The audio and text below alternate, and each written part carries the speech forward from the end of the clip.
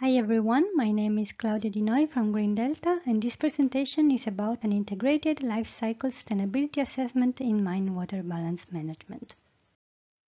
The mining industry uses a massive amount of water for ore mining and processing, and this implies that different water sources need to be considered, from fresh water to processed water to water that is used in the plant, and also water losses. And often the water cycle is quite unpredictable, also due to seasonal variations. In this context, the EIT Raw Materials SERENE project proposed a dynamic predictive solution for a more sustainable water balance management.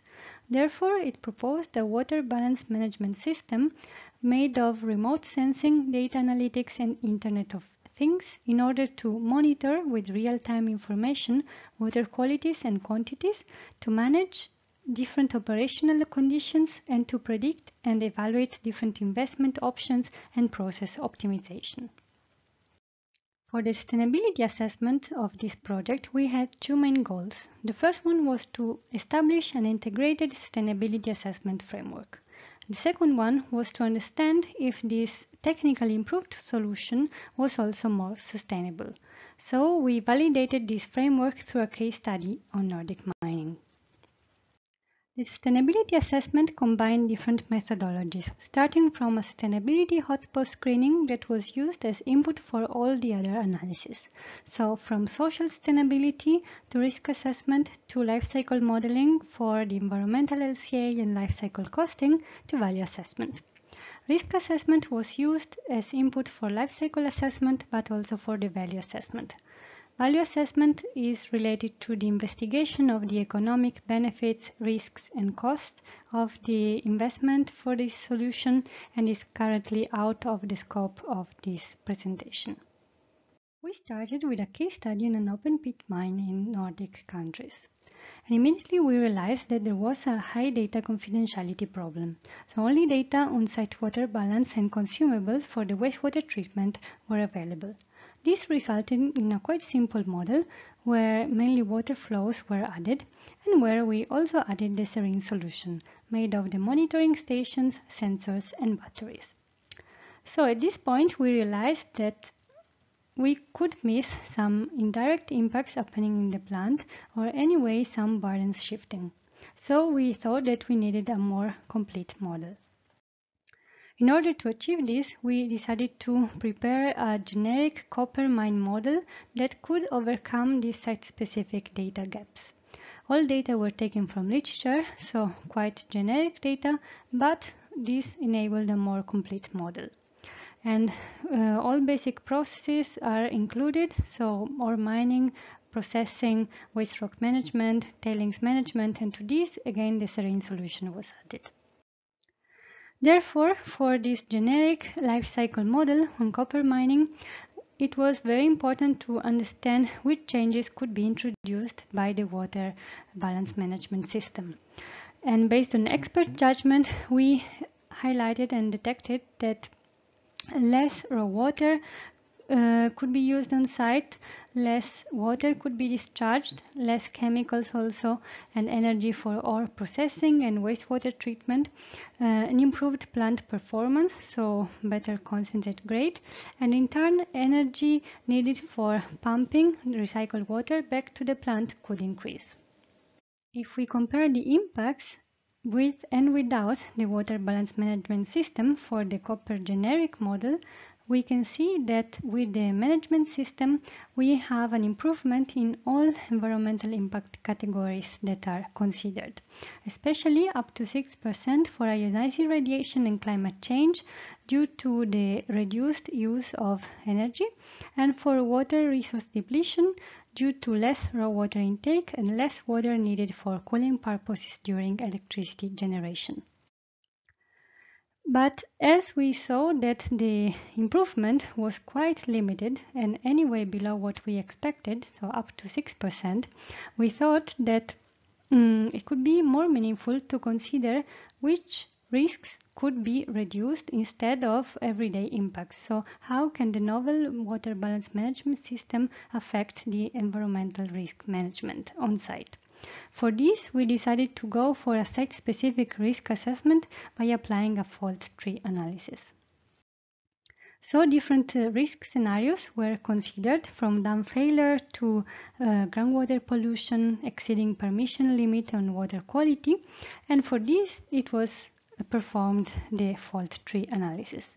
For example, considering this exceeding permission limit risk on water quality, uh, this is our top event, the specified event, and uh, we started investigating different causes and pathways that could lead individually or altogether to the top event.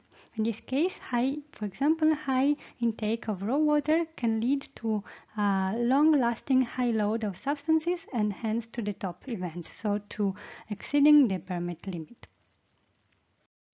Based then on these impact pathways and the mechanism of harm, we decided to include the risk scenarios in the life cycle models based on a key question. So, what would be the impact if a given risk occurred?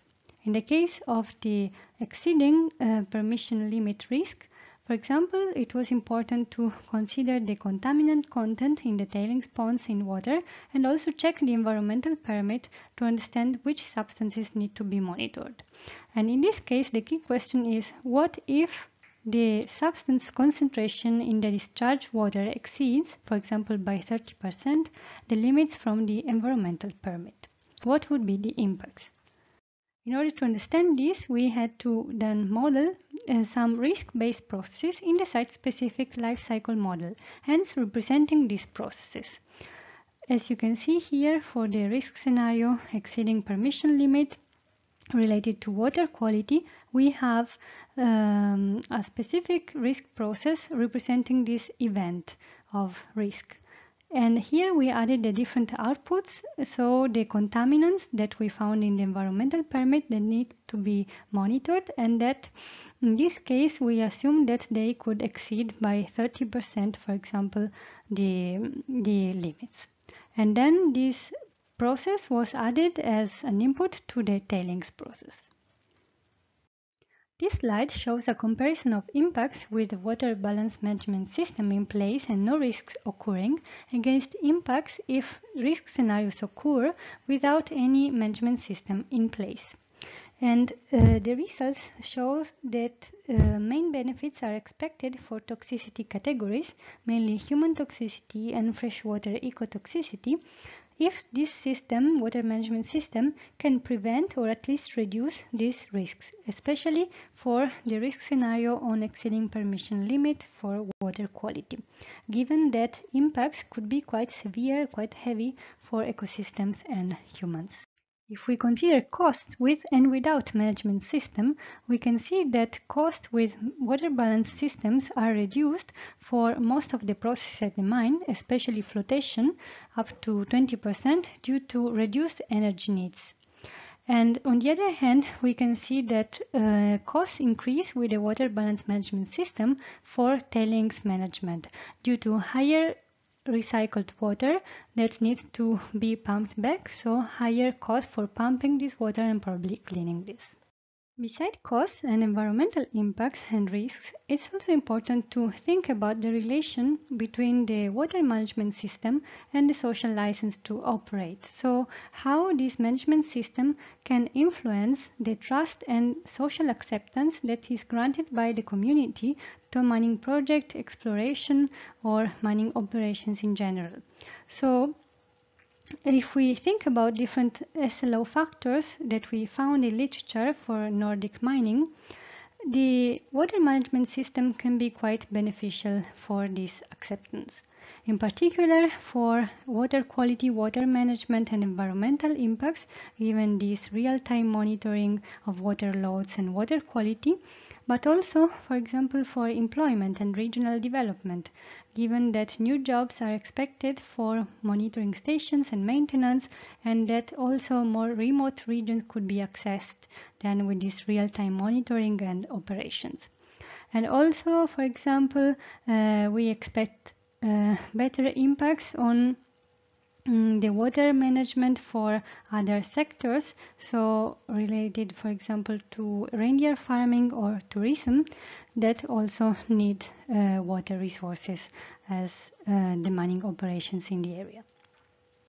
This combined assessment framework enabled the evaluation of different types of results, from qualitative to quantitative, diverse sustainability aspects, uh, site-specific data, impacts, risks, and this was important for the interpretation of results in a multidimensional context. Meaning that uh, with this framework we demonstrated the importance of communicating and evaluating values, costs, risks, and impacts of an improved water balance management system that could be a bridge builder between different stakeholders, local communities, technology providers, but it's important also to remember that the extent to which the water balance management system benefits can be achieved always needs to be evaluated locally, so specifically for each site.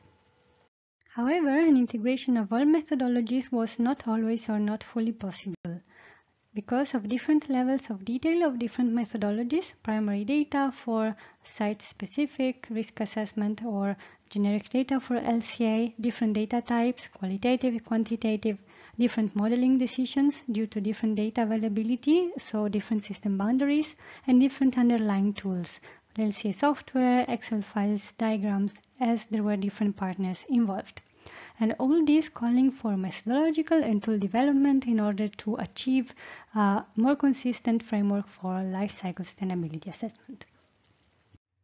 Thank you. And as we are in the session on the marine environment, I would like to mention that we have been working on the PLEX project for a plastic litter extension for the EcoInvent database that will be released soon via the Nexus website. And if you want to have more information, you can check the links and references in this slide.